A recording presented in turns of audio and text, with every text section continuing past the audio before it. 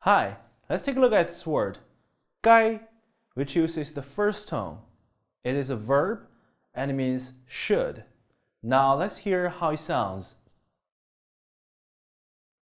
Gai. Gai. Gai. Should.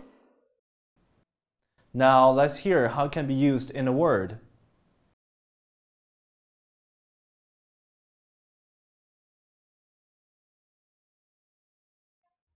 应该应该应该 should Now let's hear how it can be used in some sentences.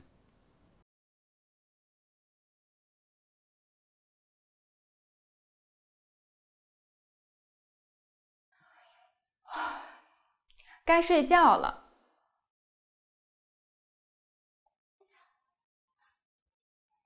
该睡觉了。该睡觉了。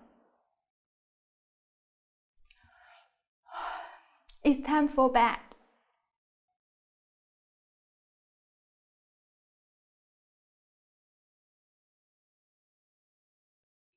该你了。该你了。该你了。It s your turn.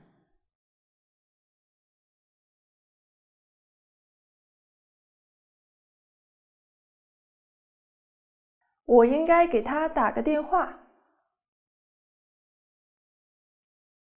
我应该给他打个电话。我应该给他打个电话。I should give him a call. So I think everyone in the world 应该 learn some Chinese.